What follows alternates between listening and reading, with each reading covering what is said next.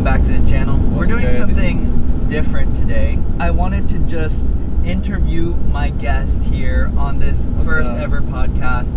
this is Kenny. You've probably seen him a lot from all my dives. He's always catching some crazy fish. Hell yeah. This guy pulls out some big lings, just pulled out an insane sheephead from NorCal, and just one of my favorite buddies to dive with, super chill. Yeah, but I'm, I'm just gonna be asking you a couple questions. Yeah, sure. I'm honored to be the first guest. Well, yeah. What's the podcast called, by the way? this is just The Depth Affinity the Depth Podca- Affinity podcast. Hell oh, yeah. I Alright. wanted to do this a similar video with Tuan last time we, we came down for lobster, but we just ended up just getting into some different conversations. I don't think I even had a setup for my Sure. dashboard. But my first question is how did you get started spearfishing? I actually don't even think I know this one. I know how you got started fishing, but not spearfishing. Yeah, so I've been fishing like in general my entire life. Um, and uh, the way I got into spearfishing was I would go to the beach uh, for surfing. Uh, I was really into surfing in like 2017, 2018, and uh, I noticed the that some days the visibility was so good that I could see the sea floor and I could see like the rocks and kelp beds and even like sometimes like the occasional perch or fish go beneath me and I just got really curious to see what was down there. So uh, I went over to um, what's that shop in Capitola? Uh, Not it's a Bamboo spearfishing shop? yeah, yeah. There's like a there's a dive a very small dive shop in Capitola, and I got like a set of beginner dive gear, just basically Mares everything. Oh, Um, I didn't even know there was a shop in Capitola. Yeah, yeah. So I Wow. I got like a whole set of beginner dive gear. Yeah. And uh, I went for my first uh, dive at a beach, and I was actually solo because I Yeah. didn't know that much about safety. Um, but I figured since I, w- I was just near a bunch of surfers, and I was basically diving like like Yeah. right next to a bunch of surfers in, in that uh, maybe 10, 10 foot zone. And how much did all that So- gear cost you? I'd say like 500, 600. So 500, bucks. yeah. Yeah, starter set. It's pretty Yeah. typical. I think like one of the biggest questions that beginners will have getting into the sport is how much do I have to spend to get into it? And that's usually what I tell them. I usually say 500. It doesn't have to be that much. Yeah. Yeah. And then if they want to go cheaper than that, it'd have to be just, you know, browsing through Craigslist, OfferUp, Yeah, Facebook get used. Marketplace to get used stuff. Yeah. And even then, this this gear is pretty niche. There's not too many spearos around, so you still do end up spending a couple hundred. Yeah, but I, I'd say the the thing you should spend the most money on is probably the wetsuit Yeah, because for sure. the beginner wetsuit I got it's just, it's just like a stock Yeah. Mares wetsuit. It was it was no yeah, good. It, yeah, it, it was just not warm enough, and the material is not as high quality. definitely when we're diving up here and we're just diving in 60 degree water, Yeah, you're gonna want a wetsuit that keeps you warm because if your first couple of experiences are just you know we already have trash viz pretty bad conditions if your first couple of experiences are just you're cold the entire yeah time you want to you want to enjoy. yeah chances are you're not gonna not gonna have too much fun i know my first couple dives i was diving with a just a spare suit that one of my dad's friends had and i was cold every single time i took a dive it was just Yeah. a splash of cold Yeah, it's, water it's not fun and and like, i got cold your breath hold is gonna be really bad. yeah yeah cold. at that point i wasn't even diving at all though so it was it wasn't too bad uh, but i just remember it was cold and i was i didn't look forward to going with my dad sometimes. I was like uh, do i really want to be cold or do i want to like sleep in and enjoy my morning? Yeah, I mean, you, you need to have gear sufficient for the environment you're diving in, so you can enjoy it. and how did you find out about spearfishing? Because Um, for me i'll tell you well, really quickly i'll yeah. tell you about my first experience Uh-huh. like with spearfishing. I was at Carmel Beach just with family, and I remember seeing this guy just swim in out of out of nowhere. Yeah, this guy just just appeared, and he was hauling this huge stringer, like one of those rope stringers Uh-huh. and just over his back and it had fish all over it. And Yeah. this guy's walking out of the water and he was like pretty buff and pretty built. He looked like Aquaman with a stringer full of fish with one hand and in the other hand, and I'm not joking you, I've never even seen this before with anyone else, a trident. what? A trident spear pole. And so That's- normally that's we see That's the uh, right there. yeah. Normally we see the flopper tip or we see the Yeah, the trident. Yeah. Very rare. Three prong paralyzer, but this guy had a trident. It was probably like some And, old uh, timer. yeah. Or something. He was just walking out, and all of a sudden, like out of the blue, he just pops up, walks out, almost in slow motion, yeah. and everyone on the beach was looking at him, and I was like, "Whoa, that's something that you could do." Mhm. So yeah, I, I didn't know about. I, I guess I, ha- I had a similar experience. I'd um, I'd occasionally go to Santa Cruz and see people uh, coming up West Cliff with the with like some perch Oh, or rockfish. interesting. Yeah, but it's it's crazy now that I think about that because we never dive Yeah, West we Cliff or Santa Cruz because the viz is really bad. Yeah, it's not that great. I dove West Cliff Yeah. one time with this one guy that invited me out there. Never again. And uh, let's just say I lost a good thousand dollars worth of gear on the, Gosh. on the way back in. It was bad. And uh, at the end of the day, I was lucky enough that it was just the gear that was lost. I got in a bad situation for a couple seconds. But yeah, West Cliff can be a little rough. So you Yeah. would just see people diving. Yeah, yeah. Um, Off there's of, like, like, a a road? a stairway. No, there's Yeah. a staircase um, that goes down to the, to the beach, or not really a beach, but just down to the surf zone. Uh, and I, yeah, I'd see people walking up the stairs with like a stringer of perch and maybe some small rockfish. Yeah. And how was your first time diving? Oh, and actually, no, my first time diving was not at. And now that I think about it, it was actually at West Cliff. it was at West yeah, Cliff. yeah. Okay. and uh, it was funny because like my like I told my my I was with my girlfriend Yeah. and uh, I told her since I'm going alone like like you need to you need to like be just watching me from the cliff the whole time so like so like I had her just like standing there like watching Uh-huh. me and I couldn't see anything the Yeah. viz was so bad Yeah. it was like you couldn't see your hand in front of you like Yeah. that one time we went to Capitola Mhm. yeah but um Did you catch anything? I didn't catch anything Were you able to dive? Barely, barely. Did you have enough weight? I, actually, no. That was Not that was the first dive. issue. I, I Yeah. think I dove with like seven pounds weight, and I I, I, realized I just couldn't get down, and I didn't know why. yeah. I was like, I was like, oh damn. I think that's the pretty standard experience, especially for us up here where we're diving with seven millimeter suits. Yeah, We just have so much neoprene on that we tend to just say, "Oh, yeah, ten pounds should be enough for this," yeah. and then it's just and also not, like so we can't get I wasn't. I think at that time I wasn't aware that there's a certain depth at which you become neutrally and negatively. Right? Yeah. I didn't know that, so I was just like I was diving shallow, like like less than ten feet, and I was just struggling to stay down Yeah. there for even like ten seconds.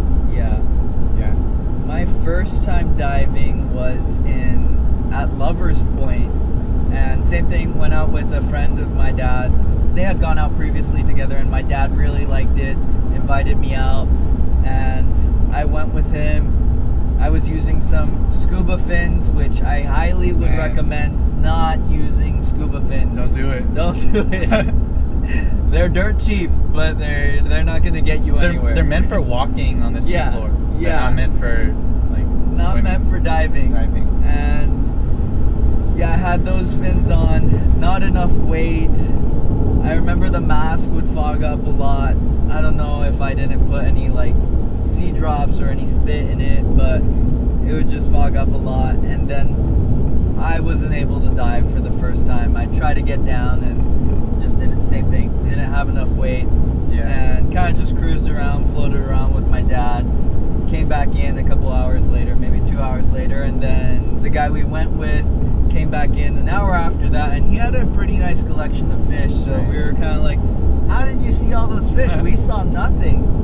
And it's funny because when you first start out, you're not used to the search images Mhm. of all these different fish. So you go out and you don't see all this life that's around you. But after you get used to all these Yeah. different species, all of a sudden they stick out because you know what to look for. Yeah, and that might be a reason you don't shoot anything because you don't you don't know the species enough. Yeah. This happens to me like even when I go to like Hawaii. Yeah. Like I'm just afraid to shoot anything because I, I don't know what size it needs to be or Yeah. if, if it's the right species. Yeah. Like, you don't even know what yeah. you're looking at. So once you do see a You got to be really familiar with uh, what you're targeting. Definitely, Yeah. definitely. And I think one thing too is if you're a beginner, be familiar with the regulations. Things look a lot bigger underwater than they do outside of the water. Yeah. So you're gonna shoot this rockfish that you think is huge. You- I don't know if you you- remember we went to Carmel Yeah. that one time and this guy hopped out with the rockfish that was like this big. Do you remember? Were you with No, me? was it a cabezon? Oh yeah, we It saw a we saw a guy come out with yeah, illegal tiny cabezon. cabezon. Yeah. Yeah, that guy just like left. Wait, didn't he po- like, he posted it on Facebook? Did too, he? Right. I don't know. I don't remember. I don't remember that. But basically, advice for beginners: know your regulations. Try to estimate like how big that. There's a. I think I have a time limit on this, but try to estimate how big that fish will be, and then give it a couple inches because it's definitely going to be a lot smaller than you think. Yeah. Okay. Next question is, what is your favorite part of spearfishing? Man, that that's a tough one, but I, I I'd say for sure, especially after this last experience, it's the surprises Yeah. That you get from spearfishing. Yeah. It, it's those those like moments where you're just like in shock by like how amazing Yeah. like the fish you caught is. right? Okay. Yeah, yeah. So I have a question on here that's gonna be, what's the best catch you've ever caught? Yeah. But but I want you to to just walk us through this last catch that you're talking definitely about. definitely this last catch. Yeah. Um, 28 inch, 14.2 pound California sheephead. Yep. and in northern California waters at pretty much the most northern the northernmost point that they exist at Yep. California. Uh, that was, crazy. a really crazy catch. Yeah. So you, I want you to walk me step by step. You know, Oh, yeah, what story. you're doing, everything. Yeah, well, actually like during that dive I wasn't really feeling it. Like Yeah, because we I were missing a ton. Yeah, I was getting a bit cold and like we we were missing blue rockfish that were literally right in front of us. Yeah. So I was a little out of it. But and um, you had even shot your spear gun. yeah. And the spear pole. Yeah, I, shot my spear gun and then the line just it just the spear just broke right off of the line, so I had Yeah. to retie it by hand. Yeah. So like the day didn't start off that good, but uh, we found this really nice uh, zone in like maybe 20 20ish feet of water, Mhm. um, where there was a lot of kelp and and uh, vegetation on the bottom. Yeah. Um, and I was good just spot. yeah, I was I was uh, crawling along the bottom looking for uh, olive rockfish, trying to sneak up on some olives. But uh, all of a sudden, I saw this huge black tail just just turn a corner Because I was near this rock face, and uh, I just saw this big tail disappear around the corner, and then I, I was like, "Whoa!" Like I thought that was a black sea bass Yeah. that went around there. So I came back up. I told you about Yeah, it. yeah. I was like, dude, I just saw a huge tail. So I, I had something that was going on with my gun. I think I had just missed another blue and I was like trying to reload it. So I was fixing my gun. Kenny comes up and he's like, dude, I just saw something massive. And I totally thought like, what's gonna have a massive tail around here? You know, even these big lingcod, their tails don't it's get not that, big. right? Yeah. Their heads, they get huge. The cabs, their heads get huge, but their tails, not really. Like the the fins on the side, Yeah. they get pretty big on the cabs once they're like above 20 inches. But the tails, I was kind of Yeah, like, and it "Ah, was, I wonder what it he was saw. like like lings are more like brown olive color. Yeah. they're not black. Yeah, they're not black. I distinctly remember seeing a huge black Yeah. tail, so I thought it was a black sea bass. Yeah. Oh, and uh, I was like flipping out, but um, I I left my gun at that spot, and I forget. Uh, I forget if I f- followed it into the cave first or, or what, but Yeah. I marked that spot with my Uh-huh. gun. The next dive, I went down. I I picked up my gun, and then I kept going in the direction that I saw the tail go in, and I found I found a really big cave. Yeah. uh, under under a huge boulder. And that was And- a big cave. That was Yeah. a great big cave. Yeah, it was it was a big cave, and uh, I the sur there was a little bit of surge, so like it was hard for me to hold my flashlight to shine in there and stabilize myself. Um, but I I managed to to like flip myself around to get in the right position so that I could peek under there. I think I was almost upside down. Mhm. But I shined my light in there, and I saw, I, I saw like like a flash of red. Yeah. Like like the whole cave was like black, but I saw a flash of red. Yeah. I was like, okay, Yeah. okay, this is happening. Did you know when you saw that flash of Yeah. red that it was a sheep's I, head? I knew it was a sheep sheep head when Yeah. I when I saw that red. So you saw the bar of red. Yeah, yeah. Okay, I so saw, you you I couldn't saw a have bar of confused it for like a No. vermilion or anything. When I saw it in that cave, I knew yeah. it was a big oh, sheep head. Shoot, that's crazy. And also, I, I saw its white jaw. the white yeah, jaw. Yeah, Yeah. yeah, very distinct. Were you nervous at all? I was nervous. it up? I was. I was Especially really after nervous. missing as much I, as we had been. yeah, I have the video of it Yeah. actually that I, I'll probably eventually post. But Yeah. yeah, it was crazy. So like I, I had to let go of my. Oh, you know what it is? I think have the quick. We've been wondering this whole time why the Insta360 Ace Uh. Pro I shoot has been turning off from time to time. It's because I have the gesture control on, so if you make a high five, it'll play or stop the recording. I also have voice control on, so it just stopped. It just uh, Too advanced. It just- technology. how do you say it just didn't record anymore? Yeah, Okay. because I said a certain phrase. The trigger words. I said the trigger words, and there's also trigger gestures. Okay, so let's not do do. Yeah. Okay. All right. We figured that out. Okay. Keep going. Yeah, so um, I, I couldn't hold the flashlight anymore because like I had to stabilize my body for the shot. Mm-hmm. So I I had to just use my eyesight to try to make out like the position of the sheep head inside the cave, which was pretty dark. Yeah. Um, but I and I was holding my gun at like weird angle like Mhm. that, right? Because sometimes you gotta like wiggle yourself around. Yeah. You do. And my gun's a 75. Yeah. So you gotta be at, you gotta like contort your body a little bit. Especially for some of those tight shots. Yeah, for those tight shots.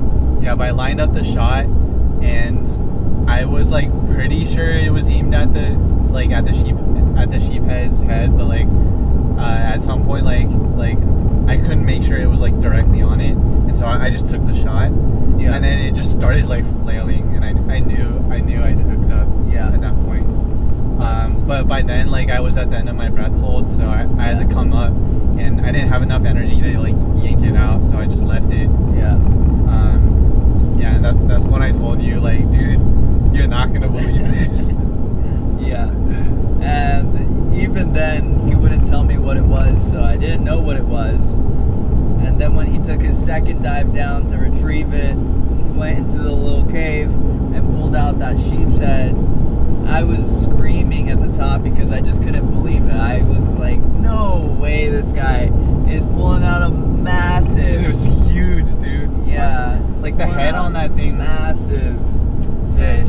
Yeah. Sheep's head all the way up here. I, I when I pulled it out, I couldn't believe how big it was. Like I knew it was big, but like I didn't know it was that big. It was a chunker for sure. Yeah, All right, so would you say that's your best catch ever? yeah, and I think it's, I think it's the biggest fish I've ever caught in my life. Oh, okay. Yeah, it's the biggest fish you've ever speared. Yeah, that for sure. was huge.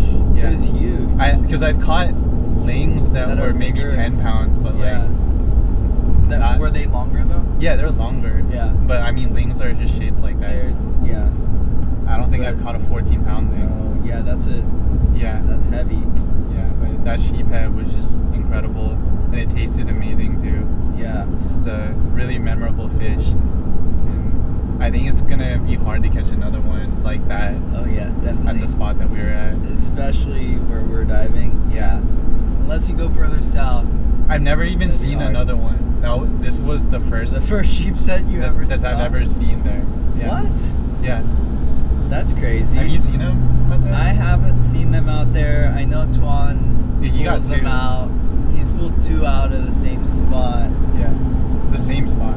But I had never seen one until we went to SoCal, and even then I didn't see them. I'm like I was just talking about for search images. I don't shoot many perch. Tuan Yeah. shoots perch all the time. Yeah, yeah. And so, yeah, I don't look for that type of fish. But when we went to SoCal and we were diving Yeah, with they're everywhere, right? uh, dive spear eat, yeah, they're they're kind of swimming around everywhere. I didn't notice any, but Tuan saw a big one and called me over, and he put me on that one that day. And I think it was like it, right? I think it was like 16 or 18 inches, something like that. It was pretty decent size Uh-huh. and it was a really good tasting fish. Yeah. But I definitely wouldn't have seen it if it wasn't for Tuan. Yeah. All right. Next question is, what is your most scary experience spearfishing? Scariest experience. Because, I mean, spearfishing is a pretty intense sport, right? We're diving, free diving, fully holding your breath, diving all the way underwater. We're diving in these conditions that can be pretty choppy, uh, pretty murky. Uh, some sketch beach entries Oh, dude, from here, time here, to time. here's one. I don't think I told you about this one. Okay. But when we were in Baja, Yeah. I chased a flasher down a bit too far Oh shoot. to where I was kind of uncomfortable. Yeah. Like- and it's kind of easy to do it down there. Yeah. Because you just, it's so clear. You take a dive, you kick a couple times, and you're like, you look at your watch, you're like, wow, I'm at 20 feet. And it feels like you've got. I don't know how far I chased that one down, but I don't think I had my float line. Oh. I'm, I'm not. I'm not sure. Yeah. Yeah. But like I was chasing a flasher down Yeah. to maybe like 50 or something, Uh huh. and I I got a little like like a little scared to be honest. That was the Yeah. first time I was like a little panicked because Yeah. we're in the middle of like the Uh huh. the Sea of Cortez, right? Yeah. And you just realize like how much I'm, deeper and I'm you 50 feet go. down now, Yeah. chasing this damn flasher. yeah. I don't for like you know Uh-huh. for nothing. Yeah. And yeah, I was I was a little sketched out by that, Mhm. and I I was uh, definitely beyond my limits at that point. Yeah. But for some reason, I just like couldn't just let that flasher It go. was probably deeper than 50 feet 50? because we're doing more than 50 here from time to time. yeah, Right? You dove deeper dove than 50. 50, right? yeah, Here? yeah. I know in NorCal the deepest I've dove is 55. In Baja I dove I think it was like 68 or 65. But I wasn't I wasn't trying to go deep, but Yeah. just, that's how you dive there. But yeah, lesson learned. Just it's not worth it. Just let the flasher go. Yeah, especially when the flashers are like 18 pesos. Yeah. it's not worth risking your life for yeah. But Yeah, that was one of the scarier not. moments. And Yeah. I didn't tell you that I kind of had like a little panic at that moment. Yeah.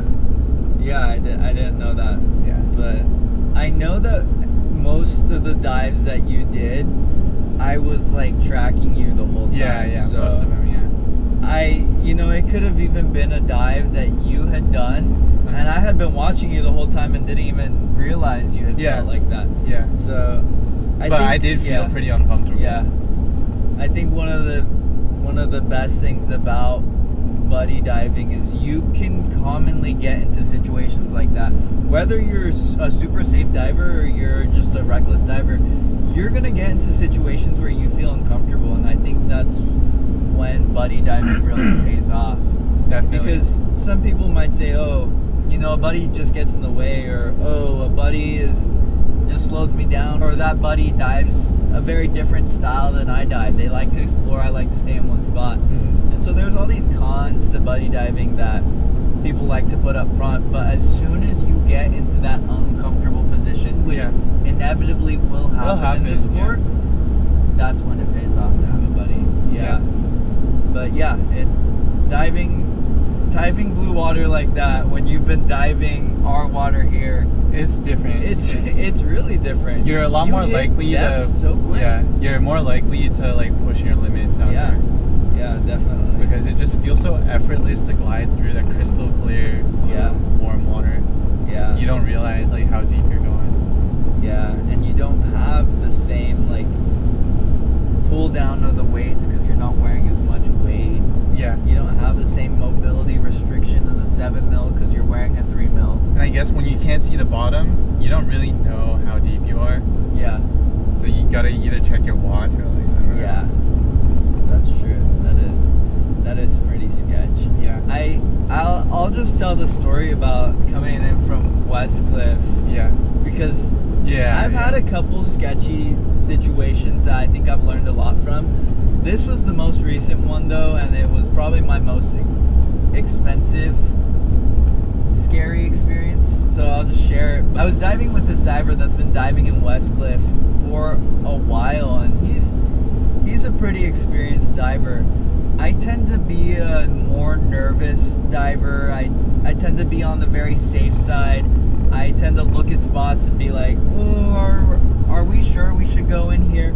And a lot of times I will defer that fear to someone else's judgment that is experienced in that particular spot. For instance, when we went with Anthony in that one spot in Monterey, and it was it was crashing a little bit. I was a little nervous going in, but I was like, you know what? Anthony's dove here quite a few times. Like, if he says this is good, it's gonna be easy entry, easy exit.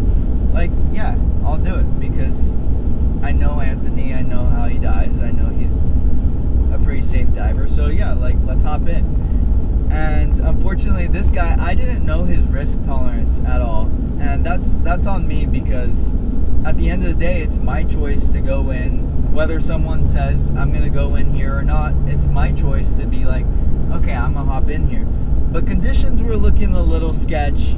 This guy though, very experienced diving the spot, said it was it was gonna be fine. So we hopped in, and the way we hopped in was we walked out on this like outcropping of rocks and waited for the swell to come up and then jumped backwards into That's this. just that's just not that's just not a good idea. Yeah, it was not. Just how are you gonna get back? and but I mean, this guy had told me he he'd done it plenty of times, and I was thinking, okay, maybe I'm just being too nervous or too fearful. So I was like, I did the same thing. I deferred my judgment to him, but without knowing what his risk tolerance was. I know what your risk tolerance is. I know Uh-huh. what Tuan's risk tolerance is. Yeah. So I know like how to judge a spot based off of you guys vouching for it. But with this guy, totally didn't know that. And I learned that. Like I learned I can't just trust a random diver's judgment of it if I've never dove with them before and if I don't really know their diving style. And Yeah, everyone's gonna have different diving styles at the end of the day. But yeah, we waited for the swell to come up. I threw my banks board in, and as I'm just seeing it get like washer machined around, I'm like, ah, dang, this seems like really crazy. But I know some people in Hawaii they do like stuff like this all the time. So I jump in on the next swell, right? We go out, go down, visibility's trash, right? As usual it's out there. it's starting to get like pretty wavy. I don't get seasick at all, so it didn't bother me. That guy also told me he didn't get seasick, and then he starts throwing up, Oh, and he's shit. like, "It's usually not like this." and as soon as he said that, I was like, "Oh no!" Like as soon as anyone says, "Oh, it's usually not like this," it's like, "Okay, is it really usually not like this?" it starts to get really bad. Right? It is like that. and it, start, it starts to get like that. And I'm like, okay, well, that entrance was sketch, and I barely think I can make it when just the swell's popping up. So if we're getting waves crashing on it too, we're gonna get like plastered, you know? So I'm thinking, okay, what what beach can we swim to? And the Yeah. beaches are just so far, and we'd be we'd be crossing too many breaks that I wouldn't be comfortable taking all my stuff that far. uh-huh. So I'm thinking, okay, we can go to the nearby beach. And I ask him about it. He's like, yeah, yeah, I go, I go to this beach all the time, and uh, that's how I exit sometimes. And I'm, he leads the way. He starts swimming that way on his board. I'm on my board, maybe like a couple, like meters behind him. and all of a sudden this wave just passes us, and I see him bob straight up and straight down, and then that wave crashes on the sand super hard. And I'm thinking, nah, if I if I do that, I'm just gonna get hit against the sand so bad. I'm gonna lose something for sure. And the beach area is not very big, so I'm I'd be risking I'd be kind of risking it with the rocks too. So decided not to do that. I told them, you know what? I'm just gonna go out on these rocks. And I go out. I'm gonna wait for the calm set, but then a wave picks me up as I'm like waiting on the edge of the rocks and throws me onto the rocks. So I was I was too close to wait for a calm set and yeah, just got thrown onto these rocks. Then I'm just scrambling up. One of my fins gets ripped off, and these were Pathos carbon fiber fins, around $350. So I just I see this $175 fin just just Drift leave, away. and I'm like I'm never gonna see that again. Whatever, it's not on my mind. My banks board is flailing around on the back, but I'm kind of just trying to focus on getting myself situated.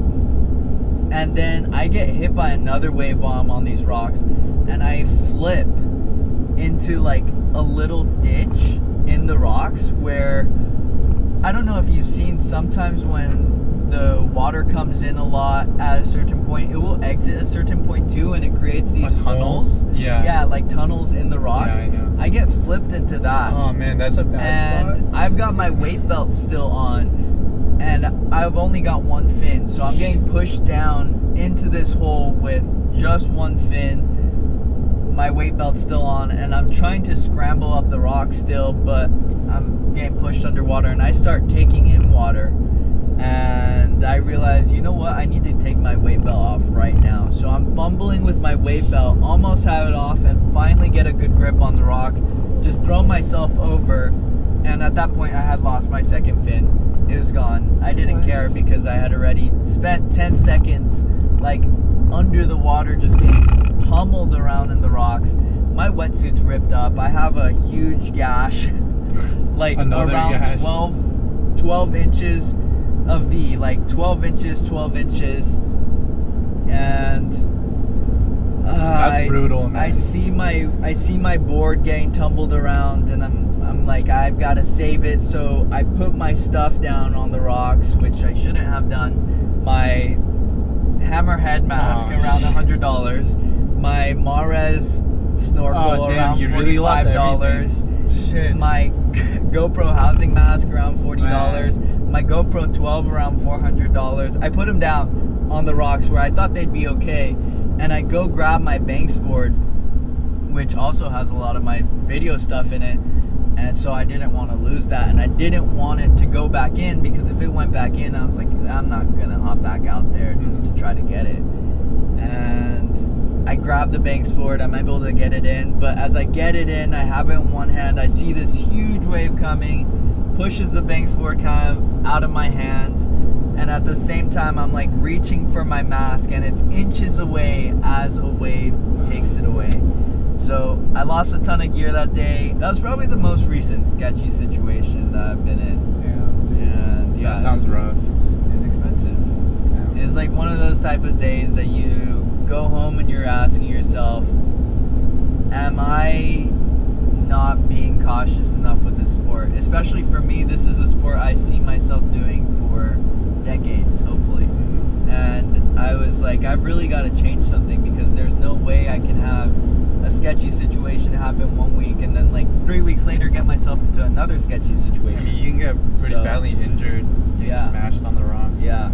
So that was my my most recent one. So, yeah, spearfishing can be can be pretty dangerous. You really have to trust your intuition, and you really have to know the conditions of wherever you're diving. I mean, it's an Yeah. extreme sport, so Yeah, you got to take safety very seriously. very very seriously.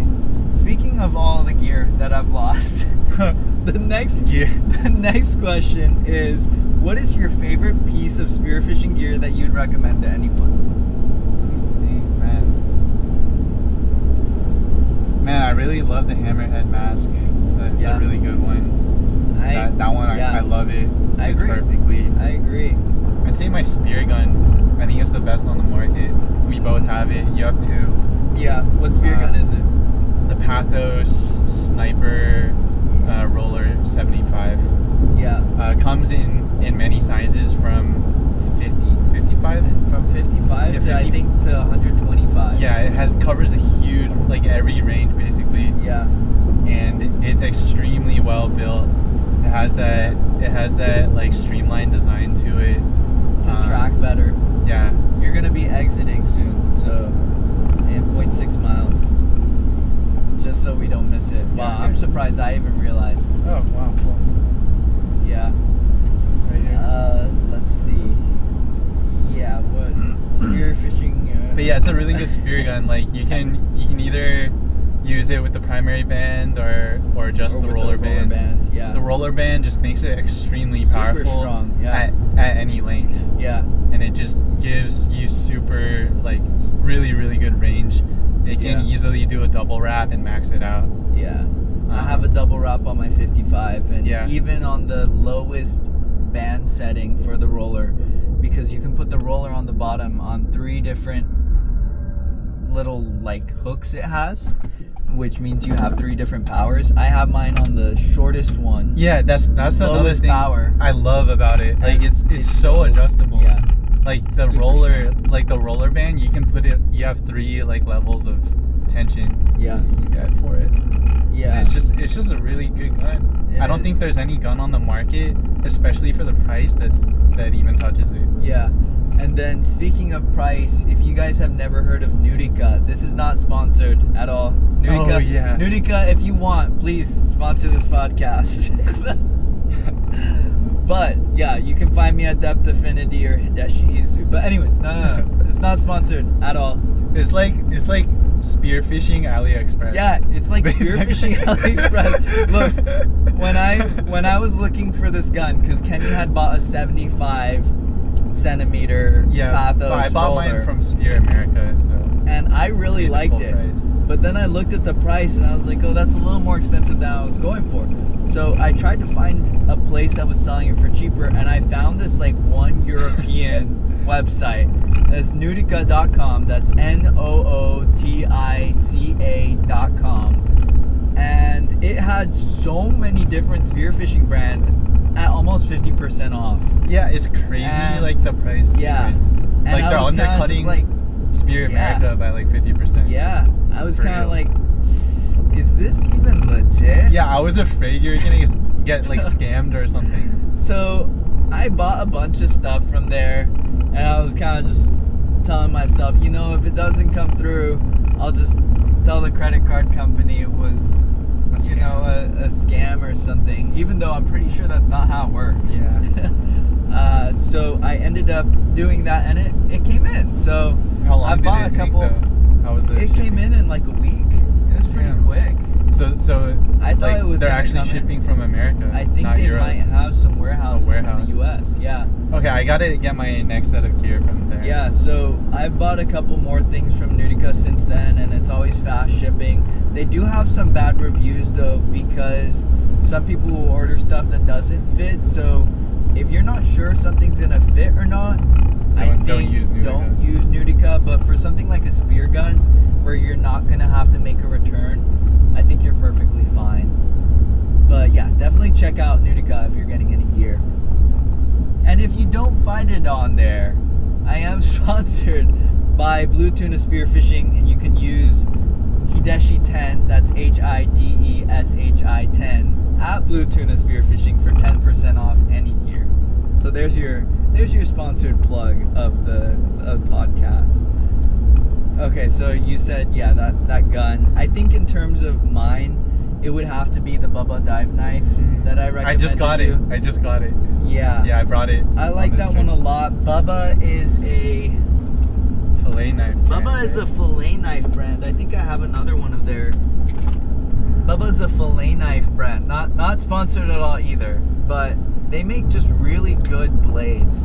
And a lot of spearfishing manufacturers also make good blades, but I like to buy things from companies that are their primary product. So if I'm buying a wetsuit, I like to buy it from a wetsuit company, not really a spearfishing company. If I'm buying a a knife, I like to buy it from a knife company. So that's why I like Bubba. Their fillet knives are really good, and their dive knives are really good too. The only thing is, I wish that the holder had a locking mechanism instead of just that bungee, because sometimes it can be a little hard to fumble around with.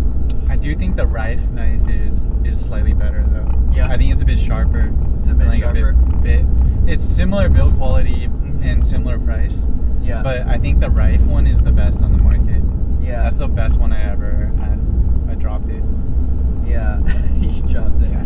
Yeah, that's the thing about knives too is that you're gonna drop them, you're gonna lose them eventually. Same with flashlights. Yeah. they- Crazy that uh. Lou found my flashlight though. I don't know if it was yours. It's it's mine. You, Yeah, I, I I distinctly remember like the the knot on Uh-huh. it, and it's Oh. exactly the same model that I always buy. you and- tied the knot. Yes, I tied that Oh, knot. okay, yeah, and the bungee crazy. on it, like I I remember it from that bungee, Wow. and also it's the same, it's the exact same light that I have right now. Yeah. That is pretty crazy. Yeah. Yeah. Uh, that's insane. All right. The last question I have for you is what tips do you have for beginners trying to get into the sport? Because I'm I'm constantly getting asked, you know, how to get into the sport or what tips I have. So I was just wondering, like, what what would you say to someone that j- just got into the sport? What's some advice you have for them? I think that you need to just make sure you enjoy your first few dives. Otherwise, you might just quit Yeah. spearfishing. Because I know people that have tried it and then like they just didn't have a really good experience for whatever reason. Yeah. Either they got like a little spooked um, by being being like out in the exposed ocean, maybe Yeah. sharks or like something Yeah. Or uh, they were just like ill equipped like and got like cold because their wetsuit was not didn't fit well or wasn't thick enough Yeah. or uh, I don't know just they didn't have the right gear but just make sure the conditions are right for you to enjoy it Mhm. right like if So you really want to get into the sport Yeah. you got to enjoy your first couple dives I agree. In terms of conditions, what conditions do you recommend going out? just go out in the flattest conditions possible So when Yeah. you're when you're checking these apps, what are you looking for? Like wind, Um, wind speed, what would you recommend? Less than 10 Less miles than per 10 hour. miles per hour. How Yeah, about like 10. wave height, wave swell height? swell I go like I don't know one to two foot day Yeah. yeah Yeah. and in terms of like locations try to go to a spot that's in like a, a bay or like kind of a enclosed like cove that's not very exposed to Yeah. the open ocean swell Yeah. That's gonna make it more protected. way more pleasant and uh, it's gonna make sure you don't get seasick or thrashed around Yeah. yeah like like most of my first dives were at, and uh, that that was because i felt safe near all the surfers and there was a nice shallow little kelp bed out there where i just like just uh, shoot some perch Yeah. get clams like pick up crab stuff Yeah. like that yeah just uh and don't set your expectations too high if, if you're a beginner just go f- go for like just go for perch or something just get Yeah. some tar- target practice Yeah. I definitely did not think that Lou would be diving as much as he's diving now. yeah I didn't think that he would really like I didn't really think he'd last in the sport because when he, we first started diving with him, it seemed like he'd get spooked out Spooked. really easily. And he just like did not like diving in any bad visibility, which if you're diving here, that's what it's gonna be. you gotta live with it yeah And it's crazy because he's been diving a lot more. And the last time we went out to Monterey with him, he just absolutely killed it. He Yeah. came in with Full such a diverse catch. Yeah. He had, I think, like one or two lingcods, a ton of rockfish, a ton of perch, and some opaleye too. It was it was a really crazy stringer, yeah and he's gotten he's gotten very good at it. yeah but definitely some people do get spooked by it because I mean it is an extreme sport, and like in your mind you might think that it's something that you're gonna really like, but when you actually try it, you find that Yeah. it's not for you. Yeah. So- So would you recommend that people rent gear before they go See, that's- full that's- out and that- buy it? That's the thing though. Like when you rent gear, it's probably not gonna be the best gear, and it's not gonna fit you that well. Yeah. That's why like, man, spearfishing is like kind of a sport that you just have to commit to. Mhm. and you just gotta like i would recommend really only buying the gear and trying it out uh, if you're really confident that you're gonna uh, actually, You're gonna go right? Yeah. yeah like you gotta be really confident that you're gonna enjoy it Mm-hmm. like personally i'm a really outdoorsy and like adventurous person like i'm, I'm an eagle scout i used to go camping a lot fishing with Yeah. my dad um, when i was little and is this the right way Yeah. okay yeah and like i'm i i knew spearfishing was something i was gonna fall in love with before i even Mhm. tried it the first Yeah. time like i knew like like i just d- decided like okay this summer i'm gonna start spearfishing Yeah. and so i just went ahead and bought all the gear and i fell in love with the sport Yeah. yeah sometimes you just know you're gonna love it Yeah. and, but you have to know you're the right type of personality for the sport too Yeah. That's that's interesting because definitely the first the first times I did it, I was like I liked Kinda it, iffy? but yeah, I was it was very 50-50 if I was gonna get into it or not. I think once you catch your first fish, it starts changing stuff. you yeah you need that experience that gets Yeah. you super stoked that need that right? you need that experience where you're just hooked on it whether Yeah, it's like a yeah. good dive day or yeah so i i agree i agree perfectly with because what you that, that's what spearfishing is about like obviously not every time you're gonna like be insanely stoked but occasionally you'll have an experience just like last time Yeah. that reminds you why you do this Yeah. sport that can sometimes be extremely miserable right?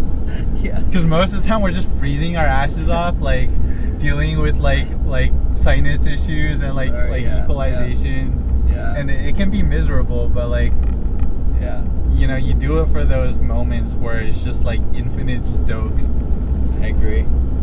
I agree well that's it for the first episode of the first and maybe only episode depending on who else i can get on this I get of Tuan the. Depth Affinity podcast. But yeah, thanks for watching, and I'll catch you guys in the next one. see ya